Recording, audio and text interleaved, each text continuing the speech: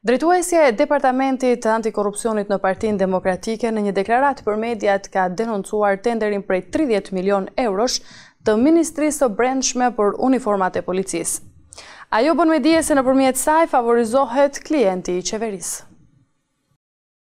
Tenderi prej tridhjetë milionë eurosh i Ministrisë së Brendshme për uniformat e Policisë është një aferë korruptive, pasi shkurtohet afati i tenderit me kundërshtim me ligjin.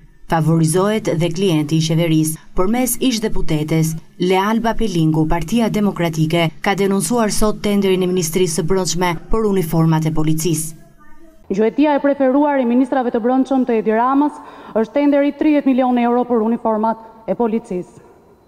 Kësaj radhe, mënyra e gjetur për të vjedhur është paracaktimi i fituesit përmes shkeljes së procedurave ligjore për rregulla të barabarta loje dhe konkurrence të drejtë.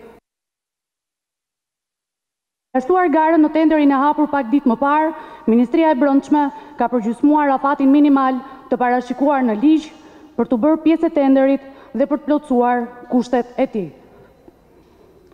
Ligji i Prokurimit Publik parashikon një afat minimal pesëdhjetë e dy ditor, por Sandër Lleshaj në shkelje të ligjit ka vendosur shkurtimin e afateve që prokurojnë në njëzet e katër ditë. Ky është një afat kohor i pamjaftueshëm për të përmbushur detyrimin ligjor që dikton kushte të barabarta gare dhe konkurrence. Shkelja e tilla, shkelja e të tilla garancive ligjore është tregues direkt se kemi të bëjmë me një aferë korruptive.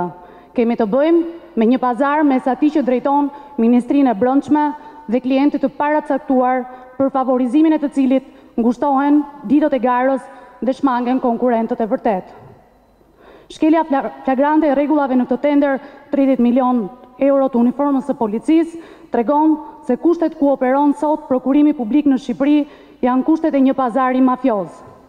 Kur dy banda mbyllin pazarin, siç ka ndodhur në rastin e tenderit të uniformave, askush nuk duhet lejuar të ndërhyjë e të prishë pazarin.